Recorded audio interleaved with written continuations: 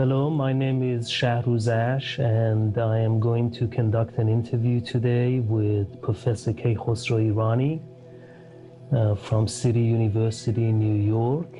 He is a professor of ancient uh, philosophy, and it is a great pleasure and honor to have him here today and to be able to do an interview with him.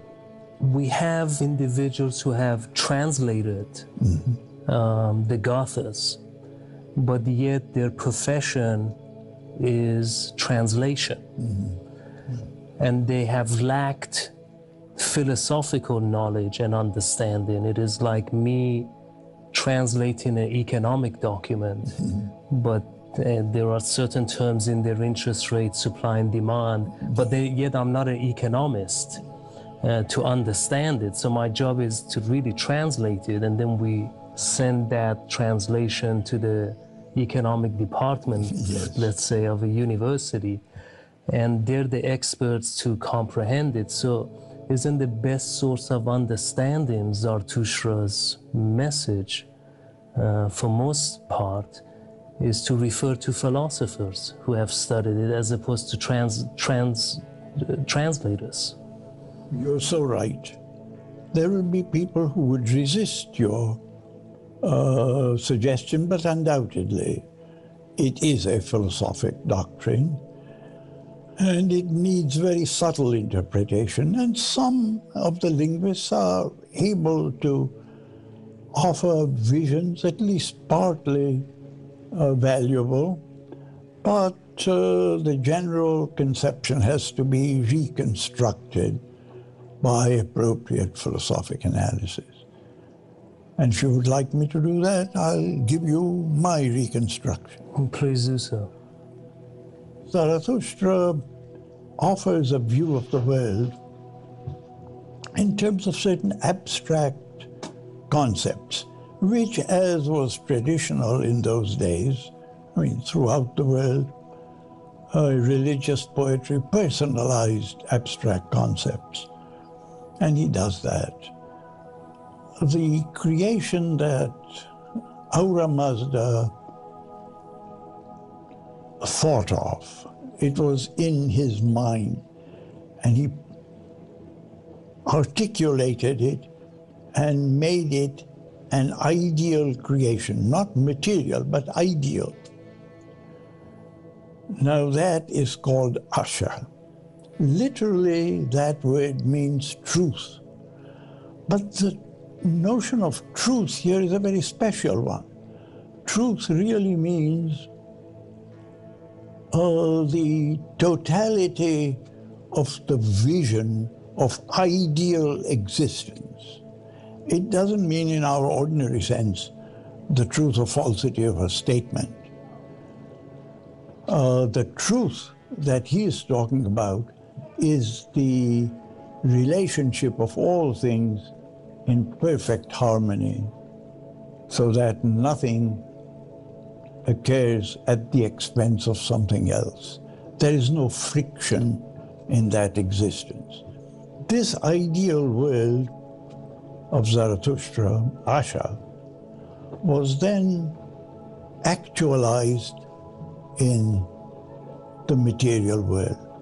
Ahura Mazda, in his wisdom, conceived of a perfect existence in purely ideal terms. And this is what is called Asha, the truth. The truth then means an ideal form of existence where nothing is in conflict or in abrasion with anything else. It is also the notion of social justice. No one prospers at the cost of somebody's injury. Now, this ideal conception exists in an ideal world, what we might call the mental world.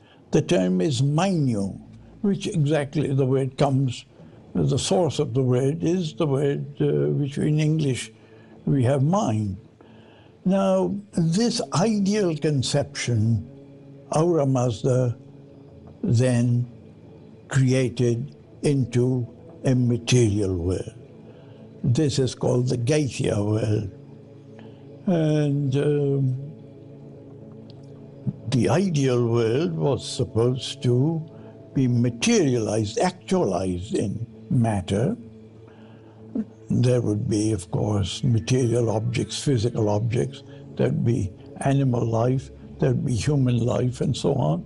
It was supposed to evolve, according to Asha, to a state of total perfection.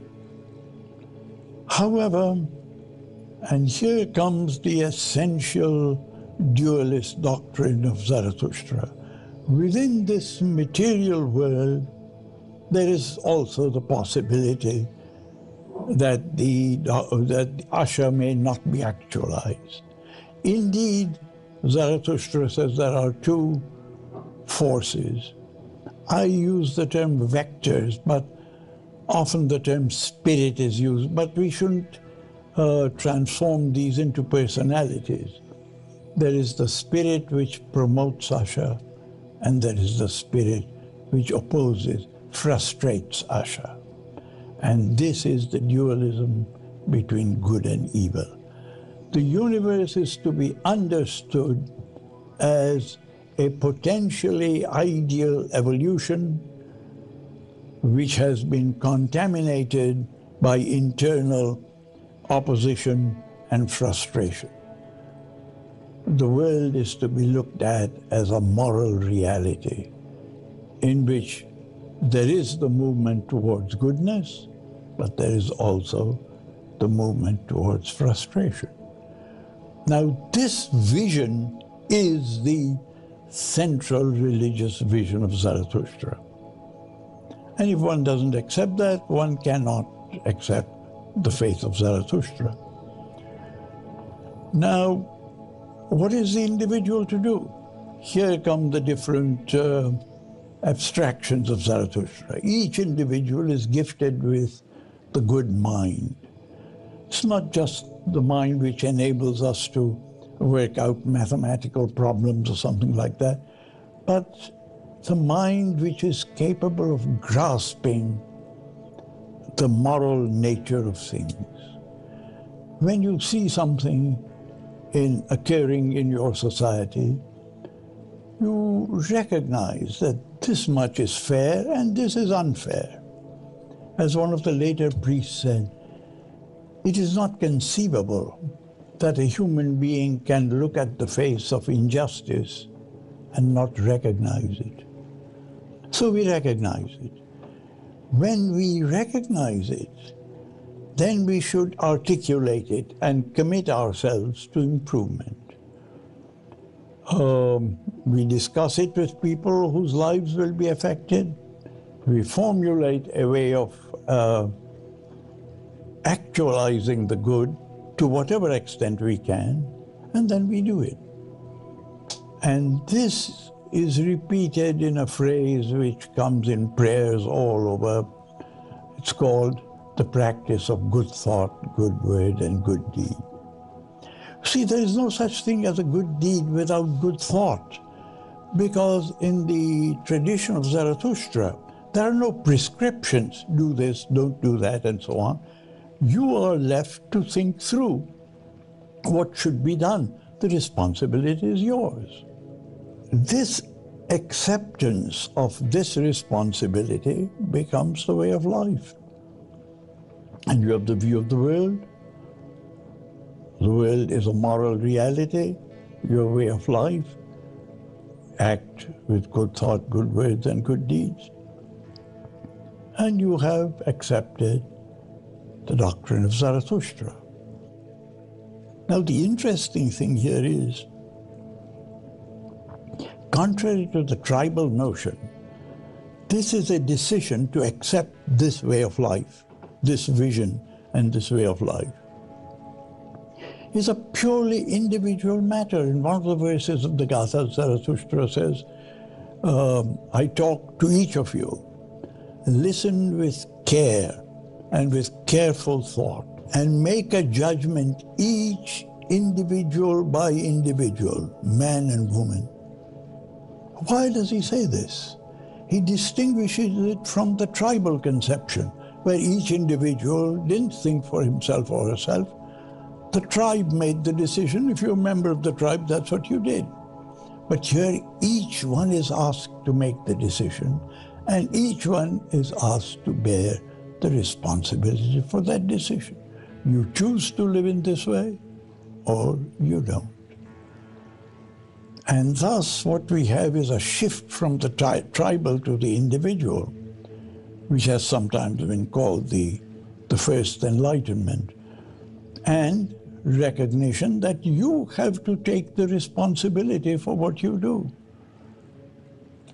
And this is at the heart of it. It must have been a very strikingly different teaching. To us, it appears uh, rationally clear. But in a tribal society, this appears strange. Uh, before Zarathustra, humans had a deterministic view of the world. Um, they thought that each person had their destiny preset and their future was predetermined. And it seems after his arrival, we started um, gathering the notion that we are in control of our future and that we are free and that we can shape the future according to our own will. In the Gathas, there are two places where he talks about this uh, um, our making responsible decisions freely. In one case, he says that Ahura Mazda made us such that he gave us this privilege of thinking and deciding and being responsible for the decision.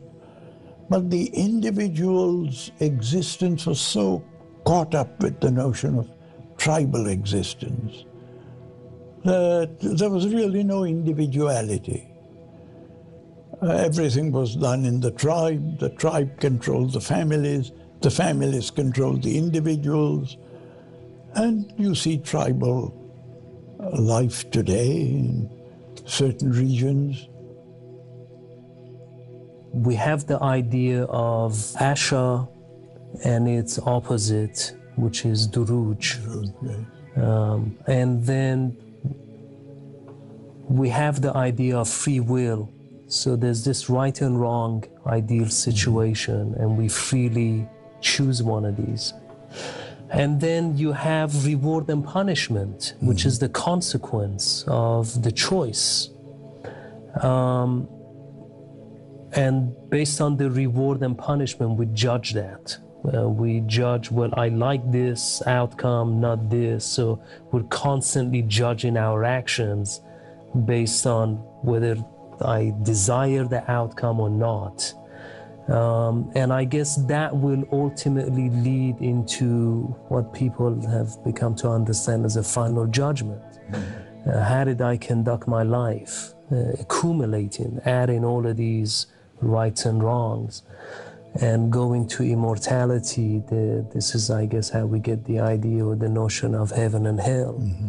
What is this idea of the final judgment. Is this judgment something we render upon ourselves? Do we judge ourselves at the end, or is there some deity that judges? We developed this notion right from the start. We human individuals look at various circumstances of our lives and make decisions we see alternatives of action and we choose one. How this choice is made is an important thing. Is it made with the good mind, with good intentions, with good thought? Now, what does this good thought mean? That you recognize a situation, you see that in some way it is flawed. You notice that it is flawed because it is in some way distinct from what it ideally should be, which your good mind, Vohumana, is capable of seeing. Then that should be the only reason, that is called righteousness, to do the right thing merely because it is right. And that's a very famous prayer which everyone recites, that that will give me ultimately my satisfaction to do the right thing because it is right. What is evil? Evil is that intention which violates that, which gets you to do something for some reason other than that is it is right. Some self-promotion or something else. One of the priests of the later Sasanian period said that uh, all our thoughts, if they are kept pure, will tell us what the right thing is. Then why don't we do it? His son asked uh, uh, the high priest, well, why don't we do this? And the high priest says, because our mind is clouded. It is clouded by mainly by two forces greed and fear. When these move us, then we look for self interest. We put that above the interest of the right and fail to act correctly. Well, in that case, we have failed in our responsibility. These, all these acts of doing the right thing for the right reason, doing the right thing for some out of some accidental judgment, doing the wrong thing for the wrong reason, or doing the wrong thing accidentally, and so on. All this is, so to speak, collected in a book of accounts. And when the soul uh, goes to the other side of the gates of death, it, and now we come to a kind of a dramatic vision. It comes to the bridge of the separator. And then on this bridge, its accounts, all the good is put on one side, and all the evil and the opportunities for good that were lost are put on the other side. And if the good outweighs the evil, you cross the bridge into the state of best consciousness. If not, you fall off the bridge into the state of worst consciousness. These became heaven and hell later on. These are states of consciousness of our spirit. These are not halls uh, where we live in comfort and so on. That's a highly materialist conception of heaven and hell. But the conception that there are two different ends for different, differently valued souls is part of the doctrine. And this, you don't appeal for mercy, you don't plead for this or that. It is the consequence of your life. The moral consequence of your life appears in the uh, state that you go into after you die going back to this heaven and hell, the idea of heaven and hell, we uh, later on um, we developed the idea of Satan or the devil um, character, so to say. And um, in Zoroastrianism, as you mentioned, we have this um, mainyu and That's the Angra Mainyu. That's right. The, to the, evil spirit, spirit and the Holy Spirit. Or evil mentality or good mentality. Um, is is the Satan a personification then of this Angra Mainyu? Exactly. Or the um, the unholy um, spirit? Yes. You see what happens in every religion, in every teaching of the initial prophet. Uh, there is a spiritual message.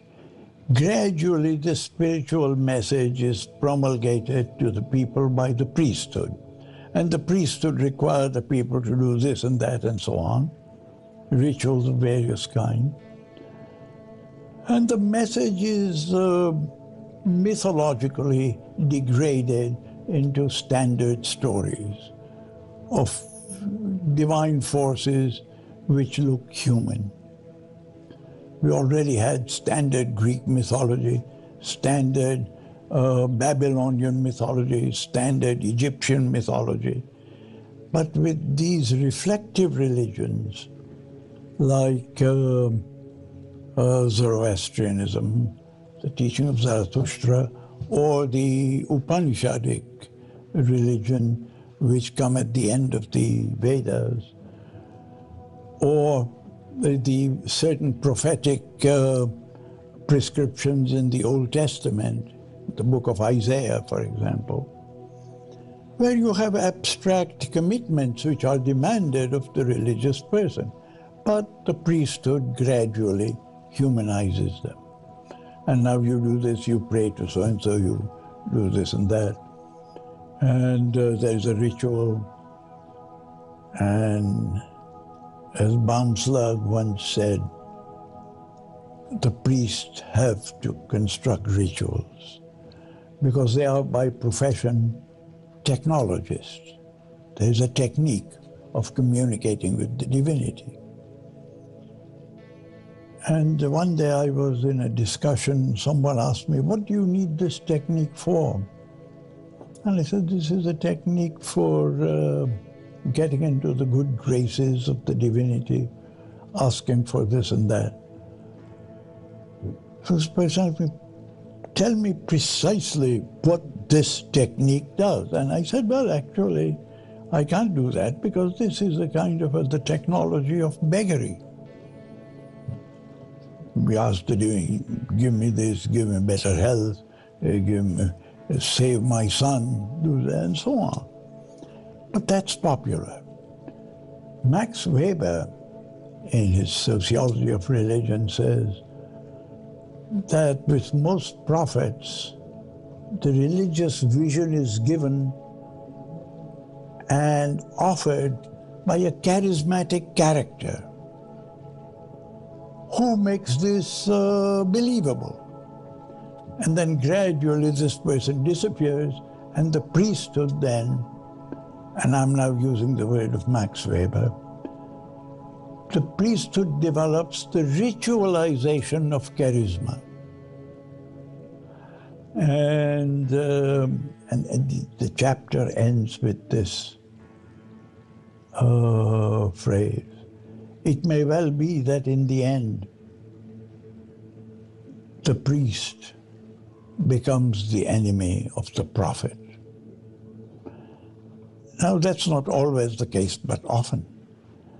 But the priest transforms the religious vision into techniques and practices and mythology. Satan is the mythologization of that force in opposition to Asha.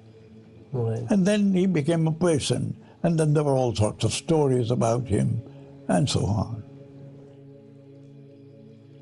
Now I want to switch uh, the subject uh, to Greek philosophy. Mm-hmm.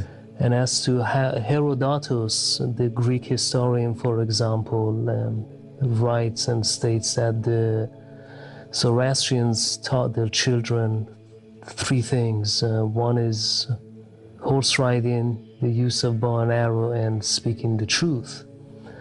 Would this, did this culture of truth come down from the, the Zoroastrian days? Oh, yes, without any doubt. But the notion becomes degraded because one often thinks of speaking the truth as merely not telling lies. But that is not the essence of the faith. The essence of the faith is grasping a deeper ideal reality. That's what understanding or grasping the truth is. For example, if you ask me, um, how many cups of coffee did you drink this morning? And uh, I say one, when in fact I had two. I'm telling you a falsehood. But that's not the kind of lie that Zarathustra is talking about. He's talking about the sort of thing in which I see that so and so has been treated unjustly. And someone says, What do you think of this treatment? And I would say something like, Well, this is usually the way it is done. I've lived long in the academic life, and I know that's the usual way administrators put it. Well, that's how it's always done. And I once told the president in, in a situation which I think somebody was very unfairly uh, terminated. And I said, here is a competent person. Person wishes to teach here. He has done nothing wrong. What, what has happened is that he is in a kind of a program that we don't want to uh, promote. And I said, he is prepared to teach in an analogous one. And the president, this is how it's usually done. And I said, but Mr. President, just recognize what is happening to this person. He is not being treated justly. And he said, well, you know, administration implies certain rules and regulations. I said, if the rules and regulations are such that they lead to injustice, something should be done. he looked at me and laughed. He said, well, what sort of a fellow are you to talk in this way?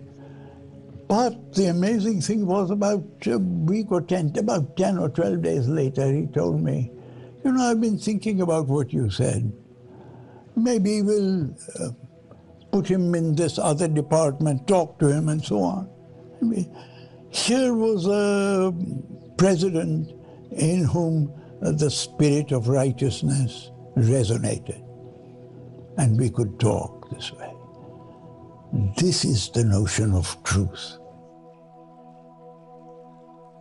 Philosophy originated about 4,000 years ago with the Indo Iranians. And this is according to Oxford University's chronology of philosophers. Also, uh, many Greek philosophers used to live in the Zoroastrian territory and obtained their education in the Zoroastrian territory of the ancient times.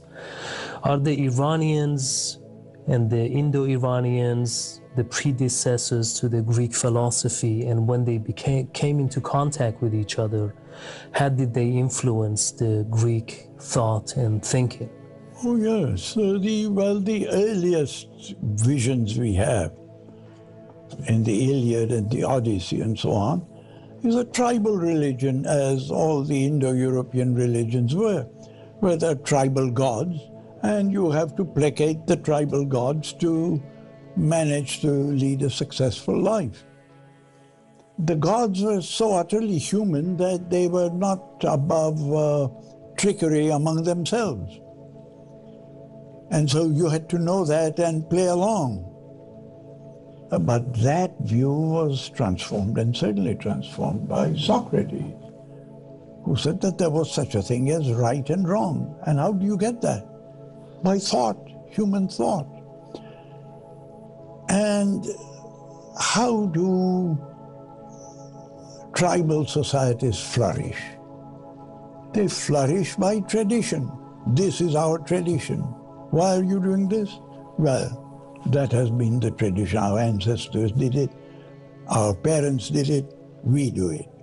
That notion, that tradition was unacceptable to Socrates. In the dialogue uh, Euthyphro, Euthyphro, it's, a, it's an ironic dialogue.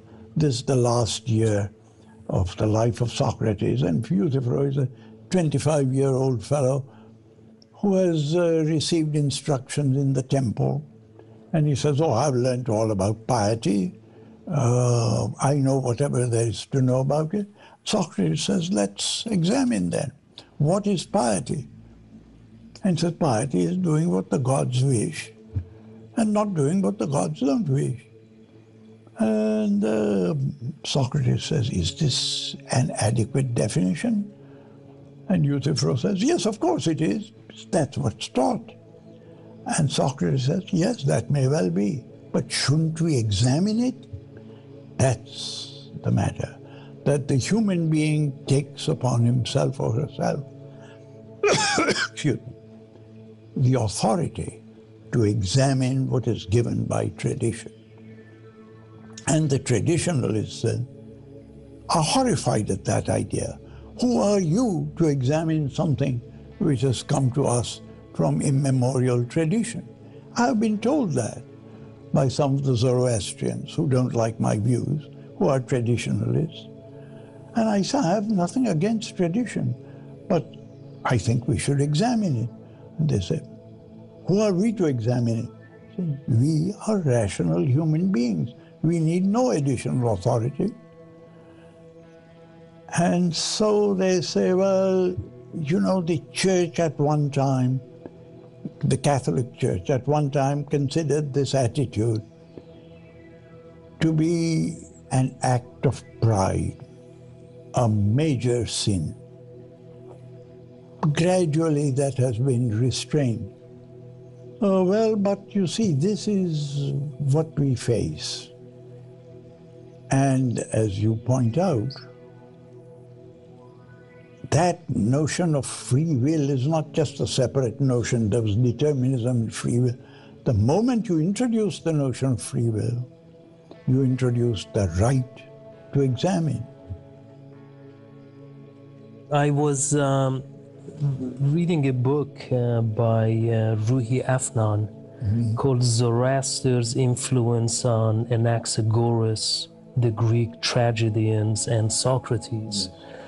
And he, on page 33, he emphasizes that Anaxagoras, um, being, I guess, a teacher of the Greek tragedy and Socrates, emphasized uh, to be skeptic and to freely think.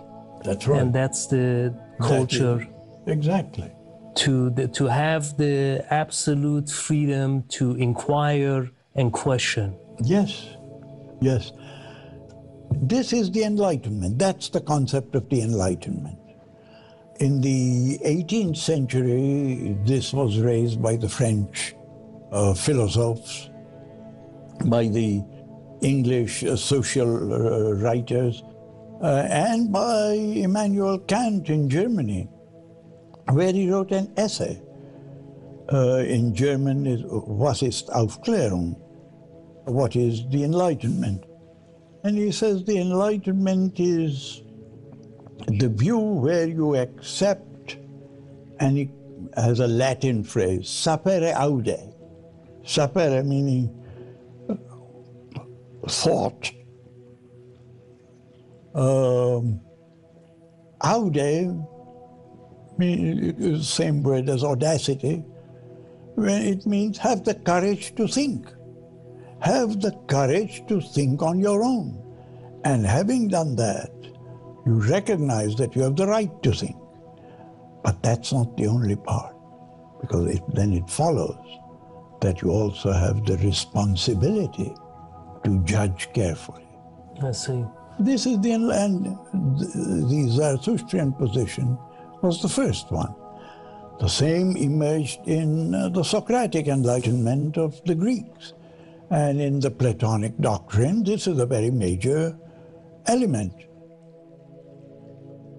The dictionaries of uh, philosophy claim that Plato's Middle Platonic, which is um, his part of his work, uh, was influenced by Zoroastrianism. Um, in what context, or can you shed some light how Zoroastrianism influenced Middle Platonic work?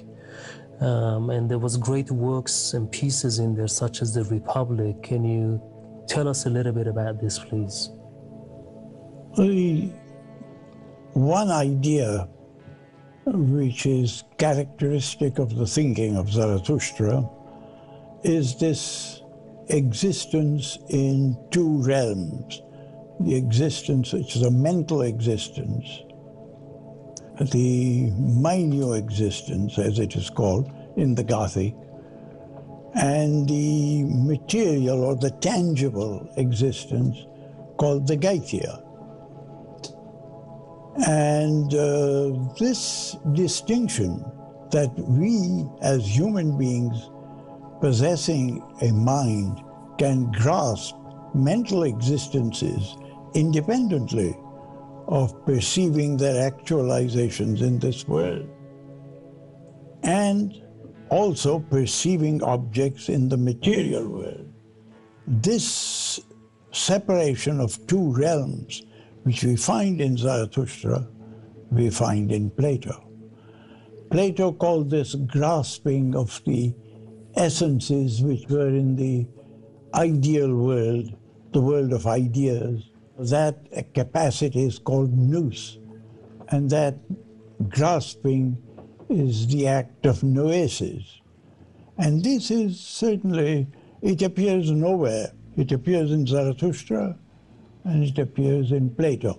Then it appears later on in uh, European thinking, and that's always called Platonic thinking. But this is so characteristic a, a theme that many people think that uh, Plato was informed of it in some form or other by the Greeks who lived in uh, Asia Minor, which was a province of the Persian Empire, and where there were fire temples and major teachers of the faith. Um, I don't know if to what extent Plato was influenced by it, but I think he must have heard of it. And then he was inspired by it and uh, produced his own uh, conception, which is a very interesting one. You don't get the idea of justice by looking at just acts and unjust acts. You make the distinction between justice and injustice by grasping the idea of justice and seeing to what extent it's actualized. Zarathustra's view of the world materialistic or or did he believe in this duality of material and the non-material, similar to what you just explained about uh, Plato, about oh, the, whether he, it's the soul or the mind? We tend to separate that two dualism. Realms. He definitely had these two realms: the Mainya world and the Gatia world. Um, but he didn't have um, the notion of a different kind of reality implanted in matter. I think we do have souls. And uh, the soul then is judged by its uh, worth, moral worth, daena. And uh, the uh, soul is, after death, is known as the Urvan. And uh, that is clearly, so they, he has a notion of existence, of material existence and a non-material existence. And is this the duality later on that Descartes to, tries to further it, articulate, but yes, in terms of mind, same theme, same theme that going has through. dominated uh, philosophy. As Xenophon states, Cyrus the Great, the ancient Zoroastrian king, was a Mazda worshipper, which means a wisdom worshipper. Who was responsible for the ed education of the Zoroastrian kings um, in the field of wisdom?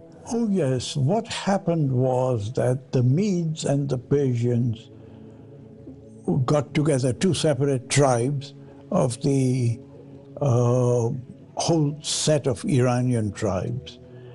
And they, they got together with the father or the father in law of uh, Cyrus, who was a Mede.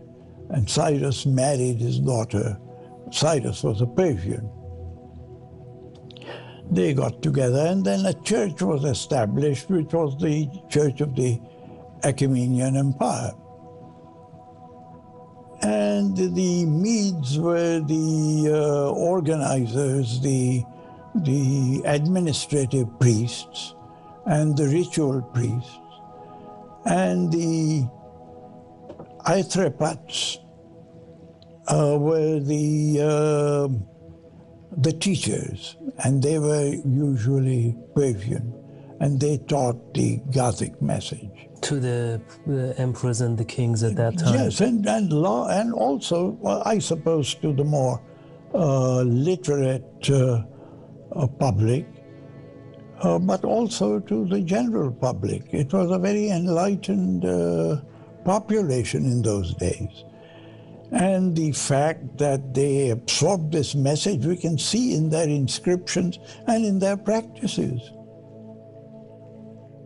Many scholars claim uh, Cyrus was one of Zarathustra's disciples. And also in the Bible, we see the name of Cyrus as the anointed one and a savior. In what context um, is he known to be the savior in the Bible? Can you articulate and elaborate this notion for us, please? This is what happened. Cyrus was. Uh, he viewed himself as a world ruler to establish the um, kshatra, that means the authority, the dominion which would organize the world according to Asha. And so he just walked into other empire, other states and incorporated them into what he called the good state he did not impose uh, any of his laws on him. Of course, these people had to pay tax, naturally, to support the uh, authority, and they had to live by the national laws. But the particular private laws were left to each uh, group, each state. Uh, the family laws were the laws of the people as they had them and uh, he permitted them to have their own uh, religious uh, uh, temples, religious practices, and so on. When he conquered Babylon, Babylon was under a tyranny, and many Babylonians themselves were agreeable to having him enter Babylon. He entered with a minimal of military uh, uh, friction and one of the first things he did was the Jews were in Babylonian captivity. You know, they had been conquered uh, by uh, the grandfather of the king and brought to uh, Babylon, the elite. And uh, they went to Cyrus and said, We are prisoners here, etc. And Cyrus freed them. And they said, we have to go back and we have to build our temple was destroyed. And so Cyrus helped them to build the temple. And their temple vessels had been uh, confiscated by the Babylonians. He restored those to them. So the, uh, the Jews said, here is someone who is uh, helping us, our tribe, and therefore he is sent by Jehovah to be our helper and they considered him as the anointed of the Lord. Professor Richard Frye uh, from Harvard University argues that Cyrus was the first person who demonstrated the concept of separation of church and state.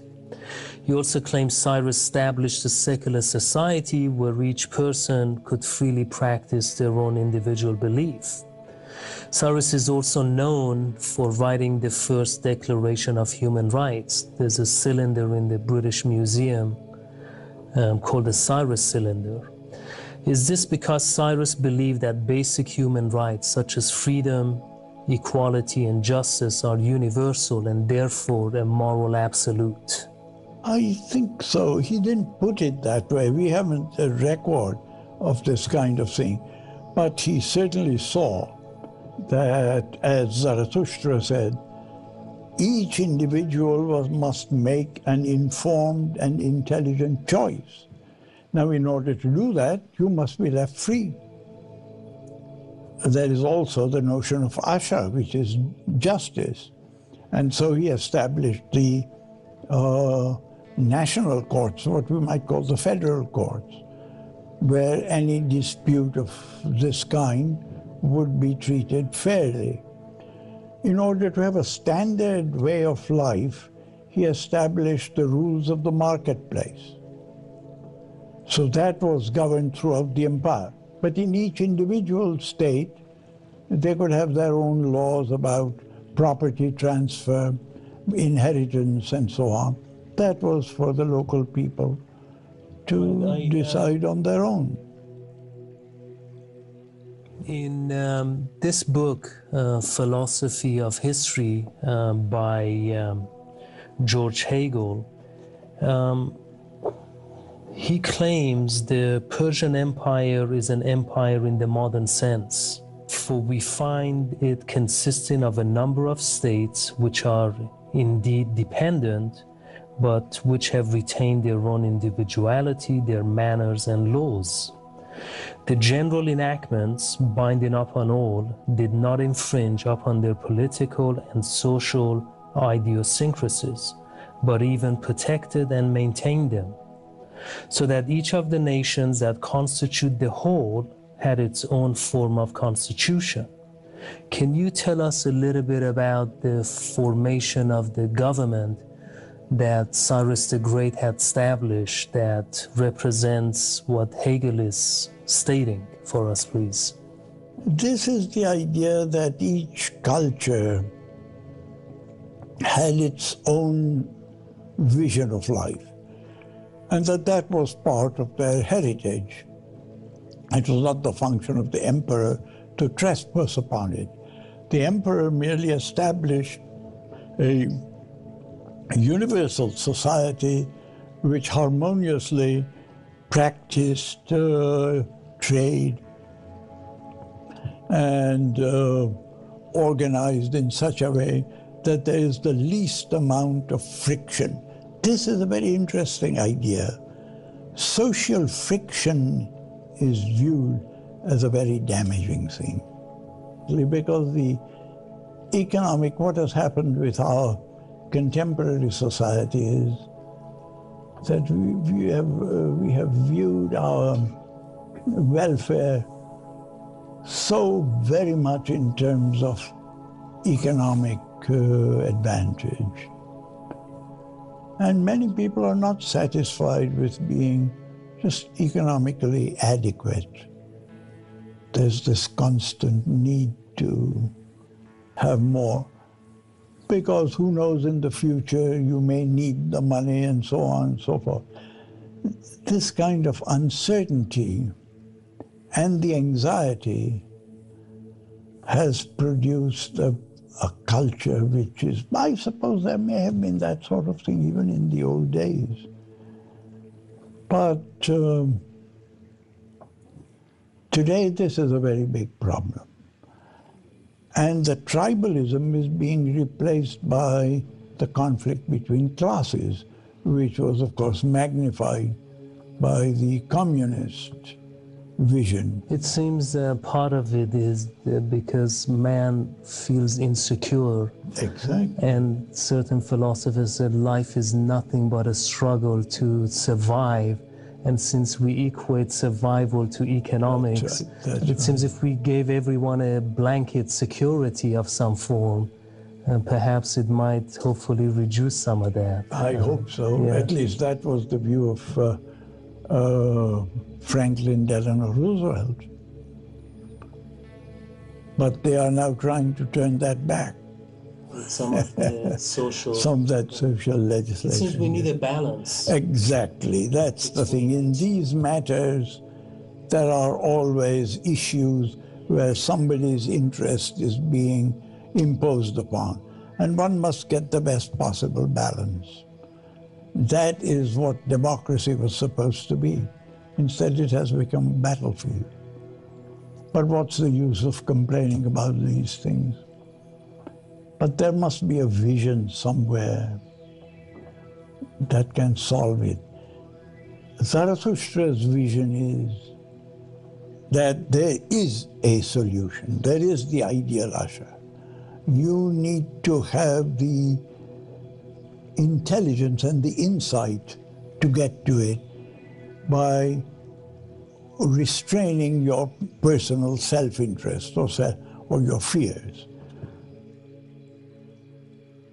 it seems this notion of heaven that man has, it's the supreme idea because we see this world to be imperfect. That's right. So it's a perfect state of mind or idea that comes to the mind, except we lack the wisdom to create that. Yes. Um, and in order for someone to do the right thing and progress to that ultimate state, um, it seems Zarathustra reduces finally everything to wisdom.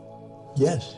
It's, it's ultimately we lack the wisdom, and he puts so much emphasis on this, which it becomes his, his the God and uh, deity that every, that, that is the final frontier. There are two aspects of it. One is grasping the ideal state of the social order where most of the friction lies. And even in the natural order, because there is friction between us and the natural order too. Diseases, for example, and so on and so forth.